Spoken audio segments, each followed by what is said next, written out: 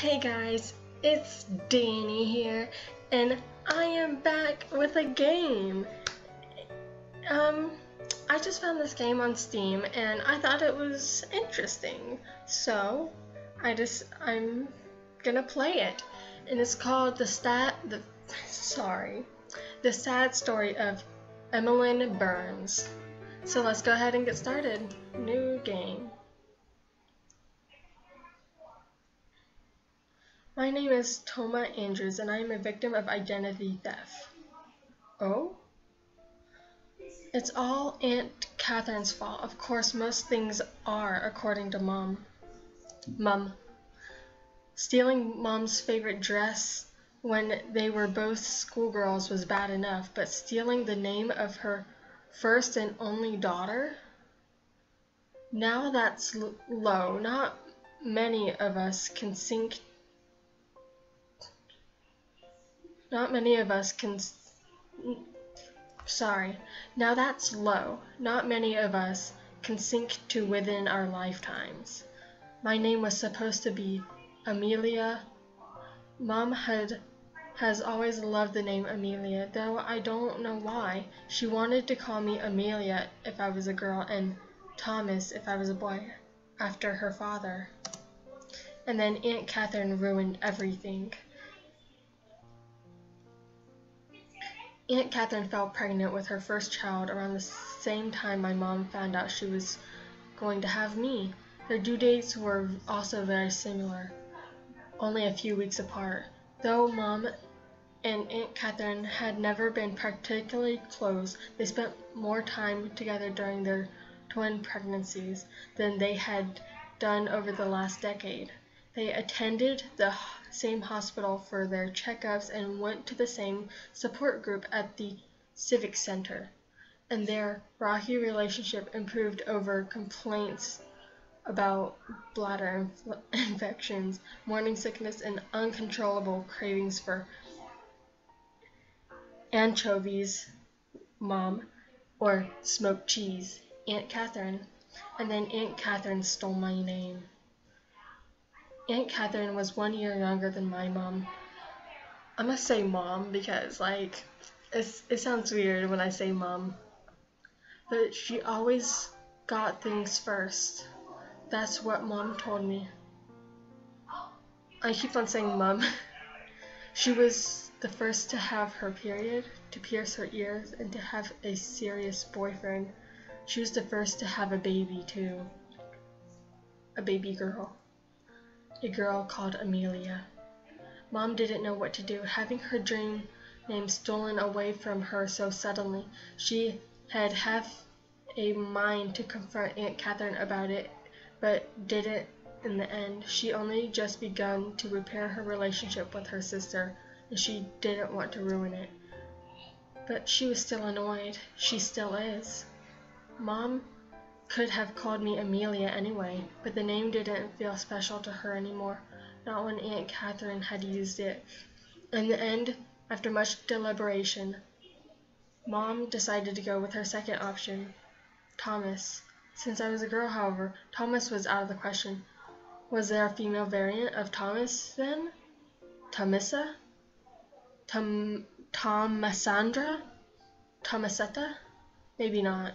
There was Toma, however, Toma Andrews, and that's how I got my name. That might explain why I don't like it very much. My name isn't really mine. Like cloths were that were that are two sizes too big. It didn't fit me properly. It never had, has. That's because it was never intended for me. If I had been called Amelia, would my life be any different? Would it change who I am?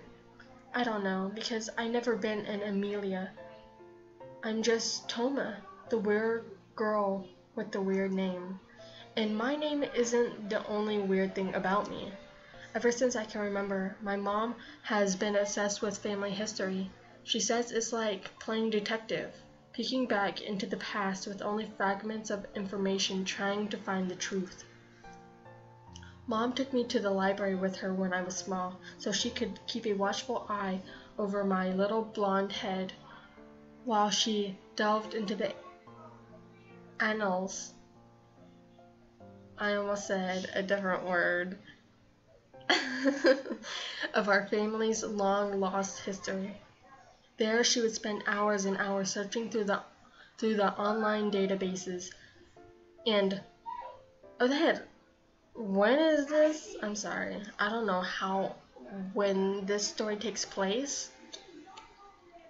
I should have um yeah. Okay. And old archives on the hunt for articles about the Spencers or the Kendrells or the Lintons or the Becketts or the Brand Bradfords. Fortunately, our family used to be pretty rich back in the day. Mom says it's a lot easier to research your family tree if you come from a wealthy background.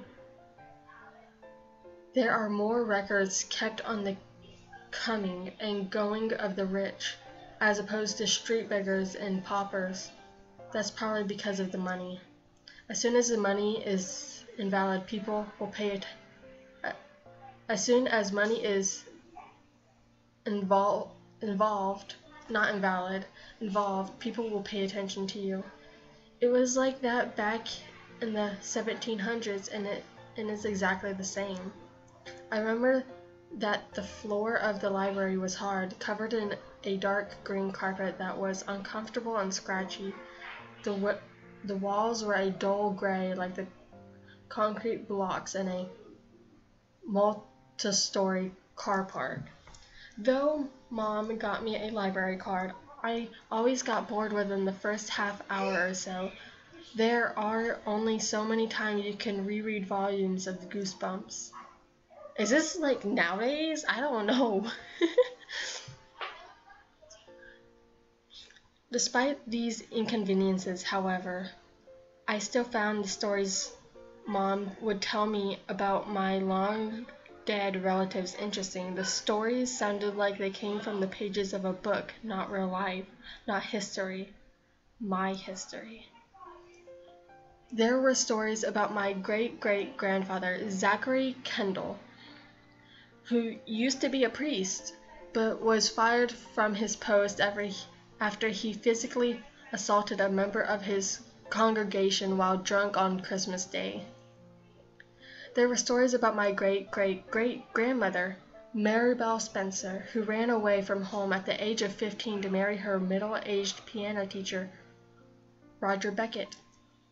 There were stories about my great great great great aunt, Rose Bradford, who was rumored to be a witch and claimed she could cure any ache or illness with a sprig of holly. Sprig of holly. I don't know why, but these stories my mom told me of unknown people from unknown times always resonated with me. Maybe it was because they were fictional characters or celebrities, but maybe because they weren't fictional characters or celebrities, but real people, my family, part of me. I wouldn't be alive right now without Zachary Kendall, even if he did beat up a member of his congregation, and I wouldn't be alive without Mary Marybelle Spencer, even if she did have a thing for older men who could play a semi-decent Für Elise, Fior Ellis. I don't. I can't say that. In a way, I owe them. I owe them a lot. I suppose what they say is true. Blood really is thicker than water. It is.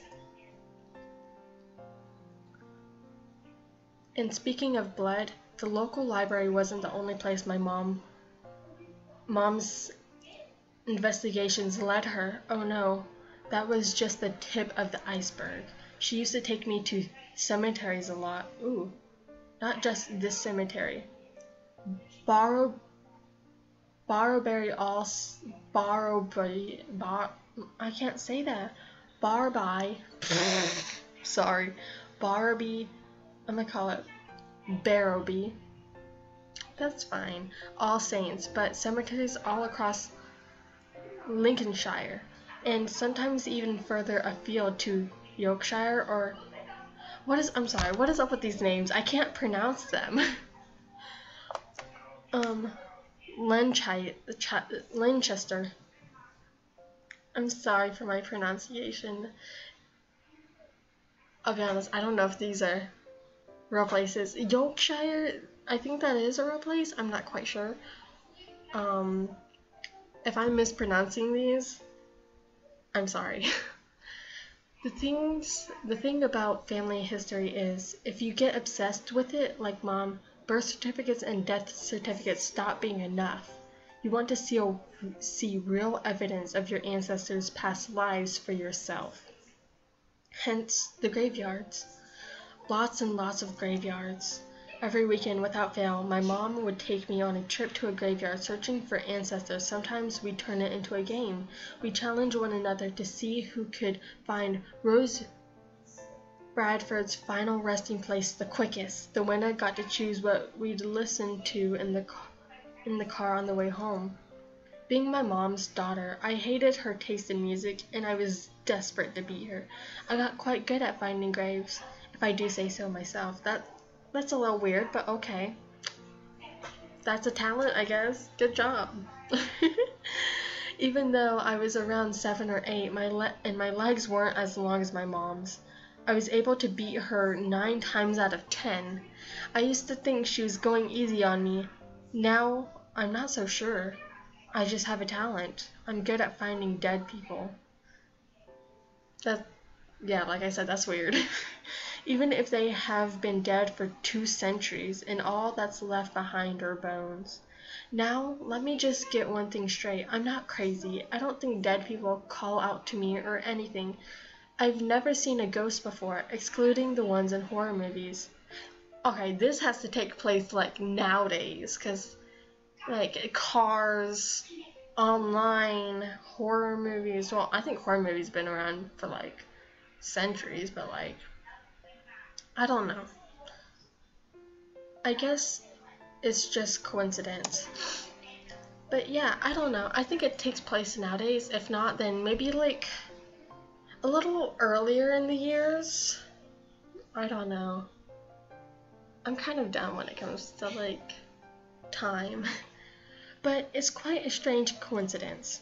Whenever I went to a graveyard with my mom, I just knew where to look, almost instinctively. My feet just happened to lead me to a tombstone, and via some strange skill I might have inherited from Rose Bradford, this yes, Rose Bradford, the self-proclaimed psychic. I was usually right. That might be why I'm so obsessed with cemeteries even now. Ooh. Just like some people prefer hot weathers, others cold, I like graveyards. They remind me of my childhood, a, a fun time spent with my mom, searching for my searching for my relatives. Hold on, let me see. Okay, so you can't go back. Oh, yeah, you can. Oh, snap. Okay, sweet. When I went out looking for graves with my mom, I was almost always right.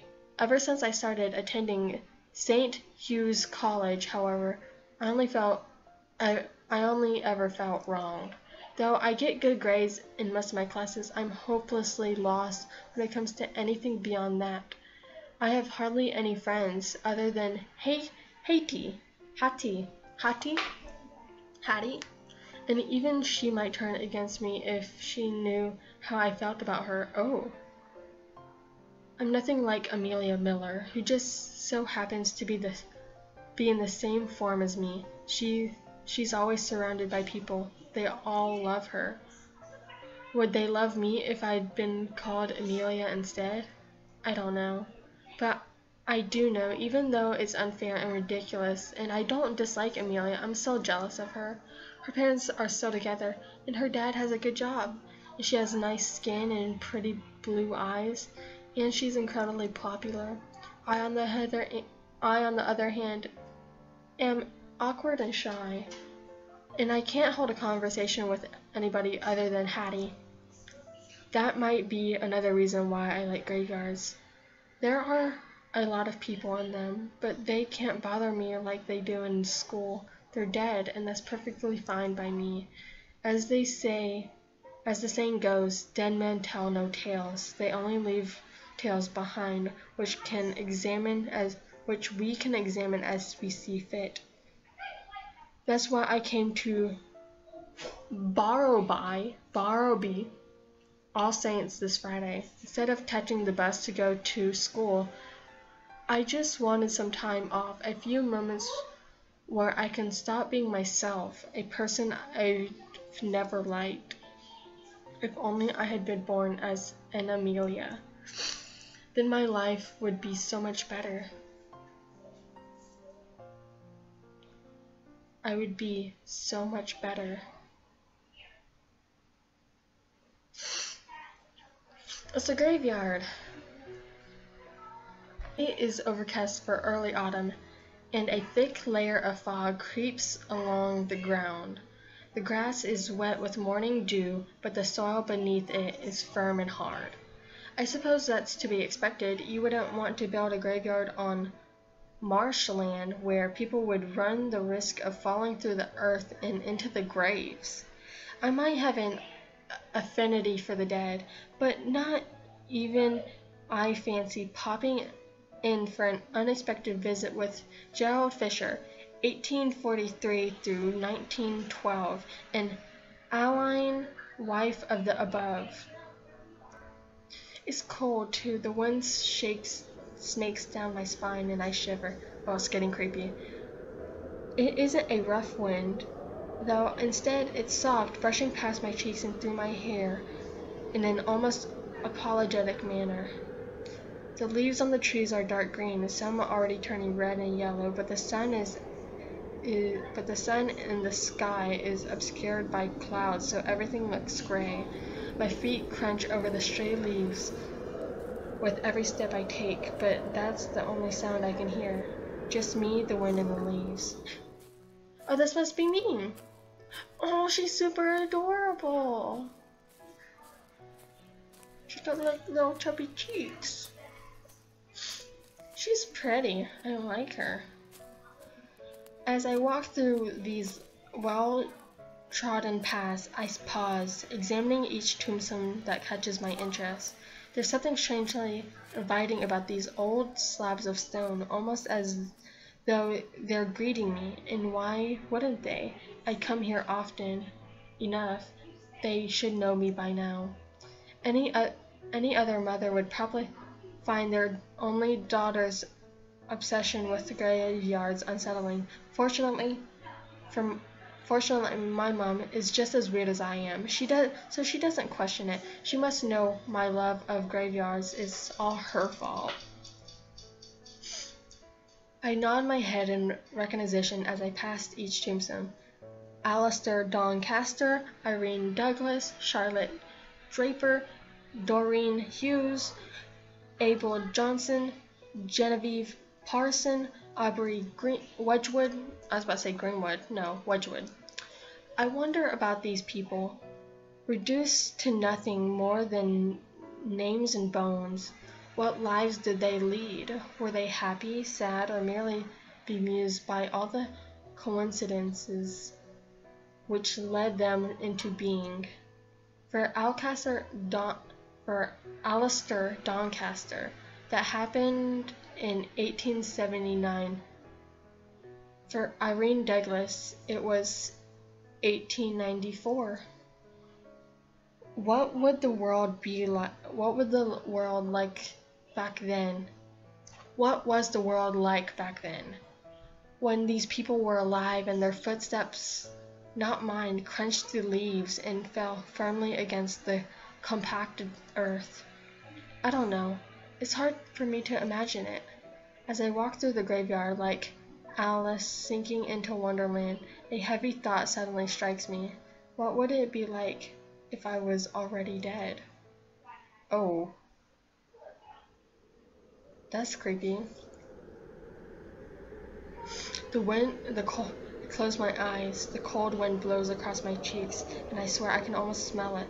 The earth in my nostrils, the scent of decay. Ah! What was that sound?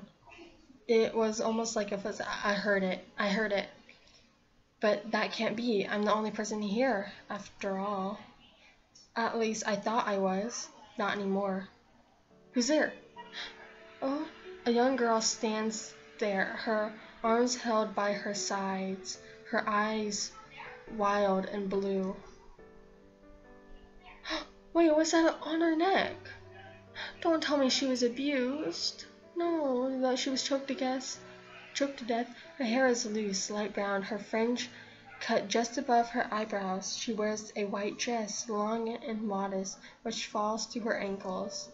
See, if you see it right here, right there, she has like a bruise on her neck.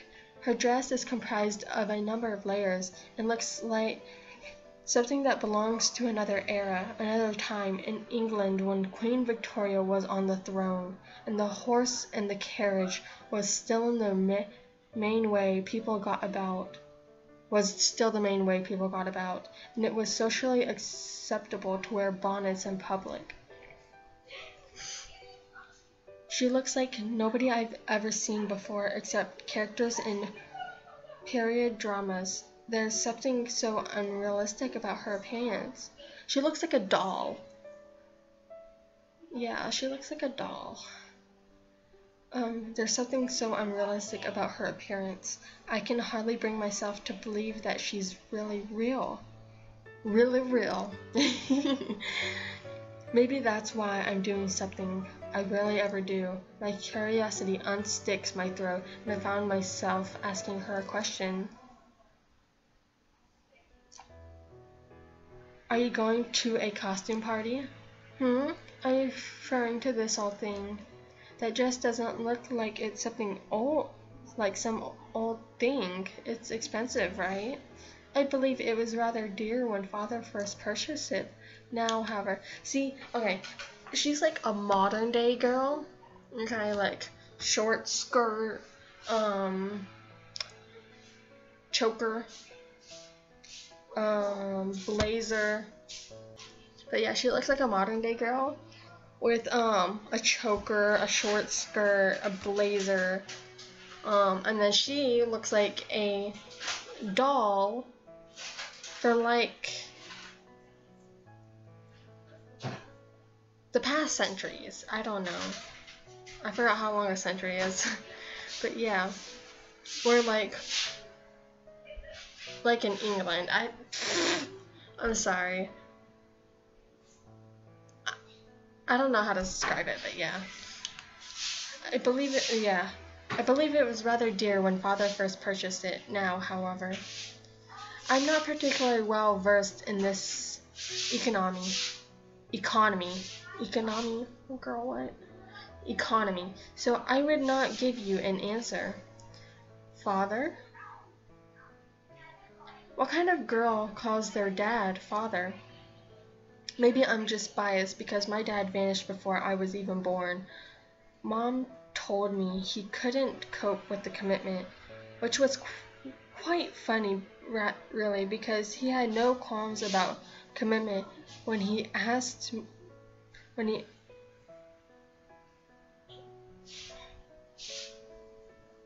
when he asked me to sleep with him.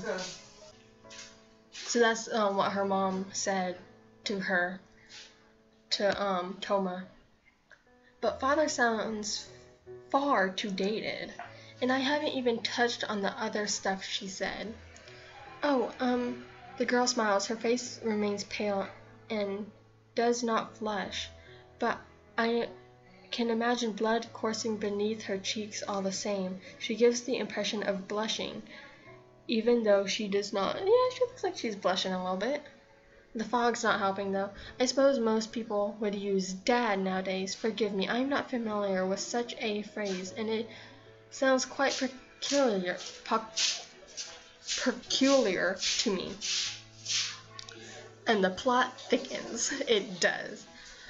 My questions only seem to invite more questions, and I find myself drawn towards this strange girl despite myself. I want to know who she is. I want to understand her. It must be this feeling, this desperate thirst for hidden knowledge, which encouraged Mom to track down what now remains of Zachary Kendall, Marybelle Spencer, Rose Bradford, and the rest. So, um, I've not seen you around. Barrowby bef Barbie Borrow before. Do you live here? I have lived here for a very long time. But you didn't but you don't look much older than me. it will be I will be 15 year years old this December. At least I should be. So she's 14 too. You say that that you've lived here for a long time, but I've never seen you before. You don't go to St. Hugh's, do you? She say, she shakes her head. So what school do you go to? Redskin, Sandon, not Waltz, Walton Girls? She shakes her head again. Then are you homeschooled? That would explain what she's doing in this graveyard at 20 past 8. 8.20. Yeah, on a Friday morning. Yeah, 20 past 8. Yeah, 8.20. On a Friday morning, wearing such a strange outfit, she might as well have fled from one of those ye old fashioned photography parlor places. I um I suppose I was homeschooled, yes. I've never been to a school before. I used to have Ellie, but I have not seen her in some time. Ellie, a private tutor? Something like that, yes. I'm sorry, but these girls are so adorable.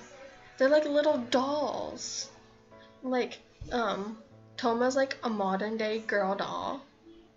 Not like one of those American girl dolls. Because those things freak me out. Dolls freak me out, okay? Like, especially those porcelain dolls. Because they don't blink. They just stare at you. But she's like, she's like a cute doll. She's cute. I like her. And they're both cute. She's like, but yeah, Toma's like a modern day doll. And then she is like one of those dolls that you would like, I guess you could say,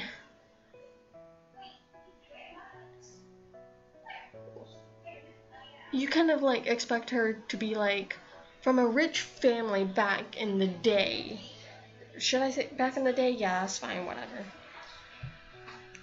But yeah, she's I forgot what she said. Um something like that, yeah. She was rather strict. She got so angry when I escaped from her stuffy old history lessons and hid all over the Linton's estate. She smiles a Hold up, hold up, hold up, Linton. Is that what a... Mm, I don't know. Okay. She smiles a soft smile. She smiles a soft, gentle smile, like an old woman with rheumy eyes. I don't know if I said that right, I'm sorry. Might, when recalling a fond memory. I don't know if I've ever seen anybody my age pull a face like that before. Just who is this girl? But you don't have a tutor anymore. There wouldn't be much point anymore. Is she one of those YouTube celebrities then? She looks she looks the part in those clothes. I can imagine her as one of those eccentric, self-proclaimed living dolls. Yeah. Who get thousands of subscribers for eating food on camera. I don't know if living living dolls, I'm doing air quotes, you can't see that though. Living dolls eat food on camera. I don't know. I don't watch any living dolls. I watch art videos and gaming videos and stuff like that. So, um, I'm sorry. This is the first question I should have asked. What is your name? Emily. Emily. I think I can I can remember that. It's a common enough name. There are two Emilys in my class. Emily Hargreaves and Emily Turner. I don't know if the name if this name fits this fits the girl in front of me though. Emily sounds too simple. Somehow and unfinished too, like a sentence ending without a full stop. I don't investigate any further, however, I hardly know this girl. What right do I have to ask so many questions? And and if it would not be too rude, may I inquire as to what I should call you? Oh, um, I should have expected this. When somebody asks for your name, it's only polite to ask for theirs in return. I don't like answering this question, though I never have done. Just what is my name, anyway? It says Toma on my birth certificate, but I can't vote. I, but I can't bring myself to believe that. Not when I was fated before I took my first breath to be called Amelia. Oh my, don't look so troubled. You will make me feel guilty. I, I'm sorry. Ha, what a funny girl. You do not need to apologize. She thinks I'm funny, does she? That kind of stings, given how peculiar she looks. I'm sorry, I, I can't talk. I think I might be a little sick, which is weird because it's summer and it's really hot and I'm already sweating. I'm sorry, that's TMI. But yeah, I don't know. My nose has been running lately. You don't need to tell me your name if you do not wish to. We all have our own secrets. Are you sure you don't mind? I'm quite sure. I could just make up a name for you instead. Well, I hope you are not adver adverse to the suggestion. I rather like giving people nicknames. I would always call Miss Warren Ellie. Her first name was Helena. Y you see, but she got mad at me because of that too. This girl has no manners. She would always say that. She may have a pretty face, but she behaves like a gutter snipe. I don't know what that is. Not that I have a button, what she thought. Father was paying her enough, so I thought it would it best to make her work for her wages. She may have found me irritating, but it was but I certainly wasn't boring. Well, I suppose it's fine. Then then I can think of a name for you? Yes, it doesn't bother me. Anything would be better than Toma. Well, let's see. Emily looks up, looks me up and down, one finger against her lower lip. Her smile is teasing, and her eyes flash mischievously like a naughty schoolgirl in the Enid Blyton story. She'll be taking talking about condensed milk and tinned sardines next. I'm sure of it. Hmm, I thought so from behind.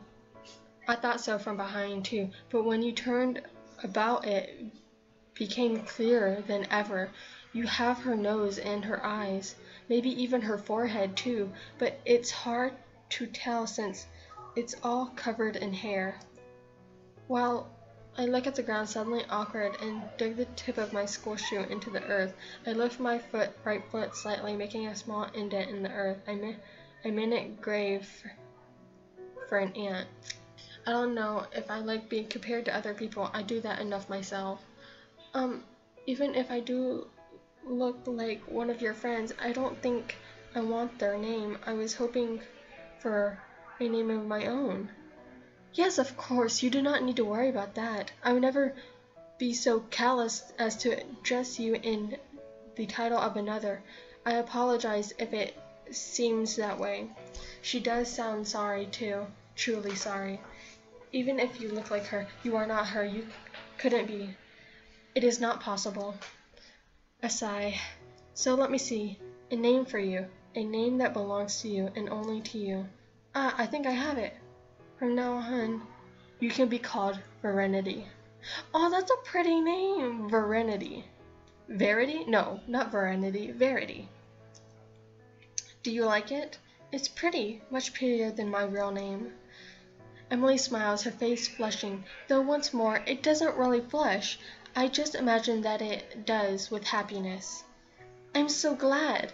I thought that virtue virtue names might be too and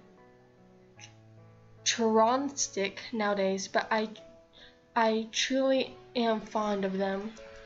One of my aunts was called Charity, and my brother was Patience. Not not that she was particularly patient. She used to hit my father for the smallest of mis misdemeanors when he was a young boy. But that, that was, but that was a long time ago. Her face darkens, but only for a for a few moments. At any rate, I'm curious. Why are you in a gloomy place like this at such an hour when you should be at school? Oh, um, I just like graveyards, I guess. They're relaxing. Relaxing, that's a... Relaxing, that is quite the strange thing to say. Why do you think that? I'm... I... I'm not sure. I just like them. They're nice and quiet, and people don't come here much. When they do, they're quiet too. It's the respectful thing to do. Apart from the local boys who trample about here drunk on Friday nights and piss on the headstones and scrawl rude words on them. I glanced at a nearby grave that of an Elijah or Alicia Farrow. Somebody had scrawled across the top of it in a black marker pen, God is dead. Okay, that, um, yeah, I don't know. She looks surprised and she looks disturbed. So I'm gonna end it here. I hope you guys enjoyed, and I definitely enjoyed this. I think this is gonna be quite interesting. And this is only the beginning, so look forward to the next episode of the sad story of Amelie Emmeline Burns. I'm guessing that's her, the um doll. But yeah, I hope you guys enjoyed this video, and bye bye.